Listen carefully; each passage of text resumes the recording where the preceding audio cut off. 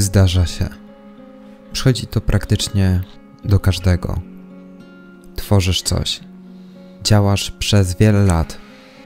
Nie dająca się ugasić pasja napędza każde twe działanie. Nagle wstajesz pewnego dnia i nie jesteś już tą samą osobą. W zasadzie to może nawet ciężko jest ci wstać z łóżka. Jedno jest pewne. Rzeczy nie są już takie same jak były wcześniej. Kawa smakuje gorzej. Trening wydaje się być bardziej męczący. Dawne aktywności stały się monotonne. Przychodzi myśl. Cóż można z tym zrobić? Haha. Byłem tam. Praktycznie każdy tam był. Po przyjeździe do Krakowa nie czułem takiego samego kopa do tworzenia jak wcześniej i przeszedłem przez pewną transformację, przez którą to, co robiłem kiedyś, przestało dawać mi tyle frajdy. Zacząłem uczyć się nowych rzeczy: filmowanie, twórczość, storytelling. I w ten właśnie sposób odnalazłem nowy styl.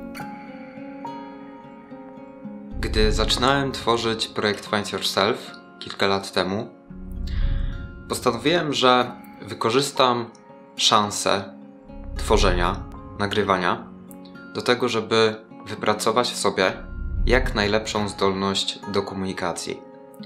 Dałem sobie takie wyzwanie. Będę nagrywał najwięcej filmów, ile jestem w stanie.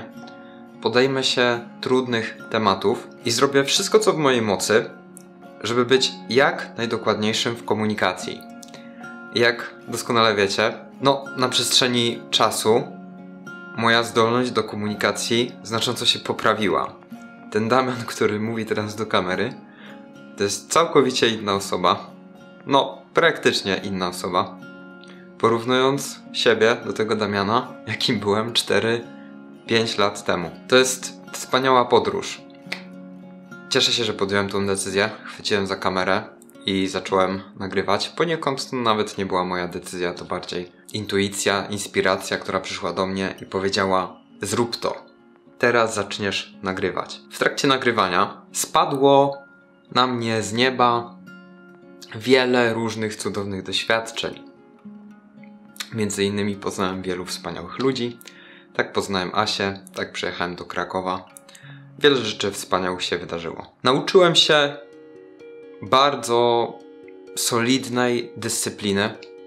No ja zdyscyplinowaną osobą to byłem od dziecka, ale to jest taki pierwszy mój, mógłbym powiedzieć, największy projekt w życiu, który robię przez tak długą ilość czasu. Nie przestałem tego robić. Szukam odpowiedniego słowa. Z czego się bardzo cieszę i ta możliwość dzielenia się sobą jest fajnym i odkrywczym doświadczeniem, bo ja przykładowo mogę sobie obejrzeć stare swoje nagrania i zreflektować się nad tym, jaki byłem, co się takiego działo w moim życiu. Z tym są też związane fajne wspomnienia, fajne osoby. No, naprawdę, to jest jak taki dziennik. No nie bez powodu mówi się wideolog, tak? Vlog. Chciałem się dzisiaj z Wami podzielić takim przemyśleniem, takim tematem. Tematem kreatywnego wypalenia. Dla mnie osobiście ten temat jest bardzo ważny i bardzo bliski memu sercu, bo jako osoba, która jest dosyć ambitna, mówię tutaj o sobie, wielokrotnie w życiu zdarzało mi się brać na siebie naprawdę bardzo dużo rzeczy i potem przez to się wypalać.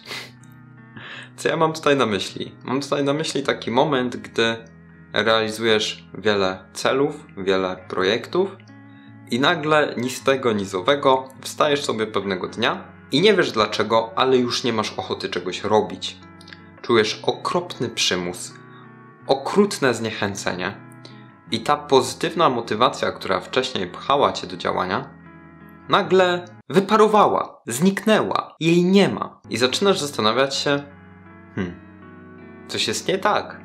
Gdzie jest ta osoba, którą myślałem, że byłem, która pchała to wszystko do przodu, na którą wszyscy liczą, a teraz jej nie ma. Zdarza się. I o ile teraz mówię to na przykładzie projektu Find Yourself, ale oprócz tego robię wiele innych rzeczy. Prowadzę grupę na Facebooku, robię inne social media, pracuję przy książce i wiele innych tematów w swoim życiu realizuję. Wcześniej studiowałem, pracowałem, nadal pracuję. No i trochę tych tematów mi się przez palce przesunęło. I tutaj dodatkowym czynnikiem jest to, co ja nazywam taką medialną presją, czyli takim poczuciem, że ty musisz udowadniać innym ludziom i samemu sobie, że zawsze jesteś najlepszą wersją siebie. Zawsze jesteś zajebisty. No bo jak tego nie będziesz robił, to nikt cię nie będzie oglądać.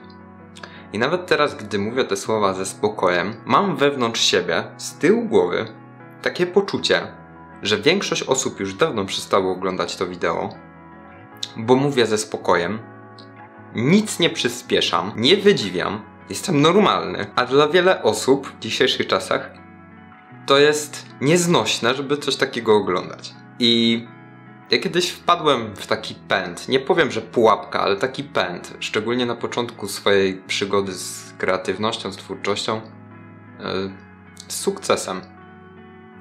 Gdy oglądałem bardzo wielu twórców, inspirowałem się właśnie tą filozofią sukcesu. Musisz cisnąć, musisz zapierdzielać, być najlepszą wersją siebie. I to bardzo mocno rezonowało ze mną. I po części nadal rezonuje. To znaczy, ja nie twierdzę, że sukces jest zły. I nie twierdzę, że same ambicje są złe. Bo one pozwalają nam osiągać w życiu znacznie więcej, starać się bardziej i zrobić jakiś pożyteczny użytek z tego życia. Ale gdy ciśniemy za bardzo, to zaczynamy się wypalać. Zaczyna brakować nam sił, nasze emocje przestają być spójne, pojawiają się wahania nastroju, pojawia się spadek motywacji, pojawia się zniechęcenie, pojawia się brak energii, pojawia się zanik poczucia bycia zmotywowanym albo pozytywnym. I wszystkie te intencje, wszystkie te motywacje, które wcześniej pchały nas do rozwoju, nagle znikają. I zostajemy sami ze sobą. Dlatego często ludzie, którzy tworzą, dużo tworzą, rozwijają się, idą w kierunku samorozwoju, sukcesu, jeżeli nie monitorują poziomu swojego zadowolenia, szczęścia i energii, wpadają w tak zwaną kreatywną dziurę, albo kreatywny niepokój, albo tak zwane wypalenie. Pomyślałem, że podzielę się dzisiaj z Wami kilkoma wskazówkami, jak poradzić sobie w życiu z takim wypaleniem. I to, co jest najważniejsze, to jest to, że to może dopaść każdego, praktycznie w każdym wieku.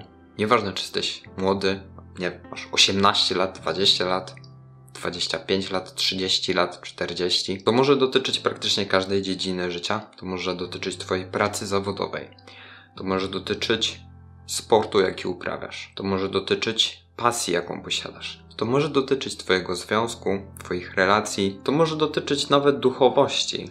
Jeżeli interesujesz się duchowością, medytacją, jakimiś tematami związanymi z duchowymi doświadczeniami, to nawet tam może zdarzyć się wypalenie. I nawet powiem lepiej, to się bardzo często zdarza, szczególnie utrata poczucia sensu życia. Jest dosyć zabawne. Jest taki poemat, to jest chyba poemat, napisany przez Jana od Krzyża, Noc Ciemna, który polecam przestudiować. Przygotowałem sobie ściągawkę i napisałem sobie kilka punktów, które chciałem Wam dzisiaj przedstawić w ramach wypalenia. I to są punkty, które działają dla mnie w moim życiu. Mam taką nadzieję, że wyciągniecie z tego coś dla siebie, że to Was zainspiruje i pozwoli przyjrzeć się swojemu doświadczeniu i zreflektować, tak że wyciągniecie sobie jakieś nowe, fajne, ciekawe wnioski. Zacznę od tego, że warto przyznać się przed sobą, że jest się zmęczonym. To jest chyba podstawa. Ja zauważyłem, że najczęściej dochodzę do wypalenia w momencie, gdy nie monitoruję poziomu swojej energii, nie biorę tego pod uwagę i zawsze zakładam, że jestem w stanie zrobić więcej niż w rzeczywistości jestem w stanie zrobić. I tutaj ja mam taką bardzo ciekawą wskazówkę dla Was. Jeżeli wyznaczacie sobie cele, albo snujecie plany albo marzenia, albo macie jakiekolwiek inne wielkie ambicje, zawsze zakładajcie, że to, co chcecie zrealizować, zajmie Wam dwa albo trzy razy więcej czasu niż pierwotnie założyliście. A nawet lepiej, czasami warto jest sobie tą wartość pomnożyć razy dwa, a potem otrzymany wynik jeszcze razy trzy. Ja zauważyłem, że no to jest tak w naszej ludzkiej skłonności i to bardzo często powtarza się, gdy pracuję z klientami i mamy różne e, projekty, szczególnie wideo. Ja to często powtarzam, bo klienci nigdy nie doszacowują tego, ile pracy, czasu i wysiłku trzeba włożyć w to, żeby dokończyć projekt wideo. Każdy zawsze myśli, że to zajmie mniej czasu niż w rzeczywistości. A ilość pracy, jaką trzeba włożyć w planowanie, ech, przygotowanie story, całej historii, narysowanie konceptu, potem ustalenie planu ujęć, przygotowanie sprzętu, pójście w plener, nagranie, ustawienie ludzi, e, potem zebranie tego materiału, przekopiowanie, konserwacja sprzętu, potem montaż, wrzucenie tego na timeline, poukładanie, dobranie muzyki, dobranie efektów, wysłanie, powrót, wysłanie, powrót, dopracowywanie szczegółów. To zajmuje zawsze więcej czasu niż się wydaje. Ach, powiem wam, że to nieźle uczy cierpliwości. I tutaj, gdy jesteśmy szczerzy ze sobą i monitorujemy poziom naszego zmęczenia, to zdecydowanie łatwiej jest te tematy ogarniać. Kolejny punkt. Zrób sobie przerwę i pamiętaj, że jest ona tak samo ważna jak dokończenie swojego projektu. Czasami, gdy nad czymś ostro pracuję i czuję, że jest ściana, nie jestem w stanie iść dalej i zrobię sobie przerwę, to w trakcie tej przerwy przychodzą mi nowe kreatywne pomysły, jak mogę zrealizować dany projekt. Tylko tutaj wiąże się z tym pewna pułapka, bo jeżeli ja cały czas robiłbym sobie przerwę i naiwnie wierzył w to, że zaraz przyjdą mi do głowy nowe pomysły, to czasami mogę się mega rozczarować. I ten element że tak powiem, ciśnięcia i pracy jest tak samo ważny. Czyli pracujesz nad czymś, później sobie robisz przerwę i przychodzą ci pomysły, żeby nie oczekiwać, że jakby robiąc sobie przerwę, wszystko się samo zrobi. Warto jest od czasu do czasu zrobić coś inaczej niż dotychczas. I tutaj świetnym przykładem dla mnie jest siłownia, gdy ustalam sobie jakiś plan treningowy i po jakimś czasie czuję, że mam pewien zastój i trening jest za mnie monotonny i zaczynam się nudzić. To po prostu zmieniam kilka ćwiczeń, albo sposób progresji ciężaru i nagle chce mi się wracać na ten trening i chce mi się więcej ciężaru podnosić. Ja tutaj nie wymagam od siebie Bóg wie jakiego ciężaru, bo mm, jakby ja nie ćwiczę dla samego ciężaru i uważam tutaj mm, na to, jaki trening stosuję i jak podnoszę ten ciężar. Dla mnie w trakcie treningu technika odgrywa ogromną rolę, dlatego zawsze Staram się tutaj ćwiczyć najdokładniej jak się tylko da. Patrzę tutaj, bo siłownia jest dokładnie tutaj przed moim nosem. Ale tak, chciałem się z wami tym podzielić. I podobnie stosuję, jeżeli chodzi o YouTube. Jak robię jakąś serię nagrań i czuję taką monotonię, zaczynam zmieniać co nieco, żeby wpłynąć na swój umysł i zastymulować nowy sposób myślenia czy widzenia, dlatego często umieszczam takie artystyczne filmy czy ujęcia, bo to fajnie stymuluje wyobraźnię, żeby szukać nowe pomysły. Punkt numer 4. Sprawdź poziom swoich oczekiwań. Co ja mam tutaj na myśli? Sprawdź, czy oczekujesz od siebie dużo, czy mało. Czy uważasz, że oczekujesz od siebie zbyt wiele i Twoje oczekiwania są na naprawdę wysokim poziomie i ciągle czujesz frustrację i głos krytyka? A może oczekujesz od siebie za mało i czujesz lenia, czujesz, że jesteś niedomotywowany, niedoinspirowany i czujesz, że osiągasz znacznie mniej niż jesteś w stanie. I to jest bardzo taki subiektywny temat, bo każdy musi sobie to przemyśleć sam dla siebie. Czego chce od życia, co jest w stanie z siebie dać i co jest w stanie z tego mieć. Można powiedzieć, dobra, to ja nie chcę mieć w ogóle oczekiwań, ale w rzeczywistości wygląda to tak, że każdy z nas ma jakieś potrzeby i czegoś oczekiwać zawsze będzie. Więc warto jest być tutaj bardzo realistycznym. Punkt numer 5. Ustal dla siebie granice, jakieś takie zdrowe zasady i trzymaj się ich. A jeżeli nie jesteś w stanie ustanowić sobie nowych granic czy zasad, to powróć do tych pierwotnych korzeni i przypomnij sobie, dlaczego coś zacząłeś robić. Jakie były Twoje początki? Co takiego działało na samym początku? I postaraj się wrócić do tych początków. Może masz jakąś rutynę, jakiś sposób myślenia, jakiś artysta czy twórca cię do czegoś zainspirował. Może jakaś książka, jakaś idea, coś, co kiedyś klikło w Twojej głowie i Cię mega zajarało do tego, żeby zacząć coś robić. Spróbuj do tego wrócić, przemyśl sobie, jak to wyglądało kiedyś, jak mógłbyś odświeżyć swoją rutynę, co takiego mógłbyś poprawić, gdzie ewentualnie usprawnić, postawić granice, bo to też jest naprawdę mega ważne, żeby mieć w życiu jakieś granice. Jakieś konkretne od A do B do C, bo mózg uwielbia rutynę, lubi powtarzalność. Jesteśmy trochę jak roboty. I trzeba nauczyć się to akceptować i dostosowywać do swoich potrzeb. Wtedy jest znacznie łatwiej funkcjonować. I zdecydowanie łatwiej jest dokonywać kreatywnych przełomów, gdy ma się rutynę. Ja wiem, że często chcielibyśmy od razu robić wzniosłe rzeczy, od razu dokonywać Bóg wie jakich przeskoków, od razu wszystkim imponować, ale w rzeczywistości to tak nie wygląda. W rzeczywistości trzeba wiele rzeczy ciągle powtarzać, ciągle poprawiać, i bardzo często robimy ten progres bardzo powoli. Tak bardzo, bardzo, bardzo powoli. Że dopiero jak reflektujemy nad czymś z perspektywy kilku lat, ma to dla nas sens. Ale gdy patrzymy na ten punkt, w którym jesteśmy, to może trudno nam być w ogóle określić siebie. To są te punkty, z którymi chciałem się z Wami podzielić. Tak na samym końcu chciałem się Wam pochwalić że startujemy z nowym podcastem z Aleksandrem. Chciałbym Was zachęcić do tego, żebyście mieli otwarte oczy i uszy, bo gdy już będziemy mieli content i treść, i kanał powstanie i wszystko będzie już funkcjonować, to Wam po prostu o tym opowiem i dostaniecie linka, także będziecie mogli wejść sobie na ten kanał i tam będą znacznie dłuższe nagrania. Z Aleksandrem chcemy nagrywać podcasty o długości od godziny do nawet dwóch godzin.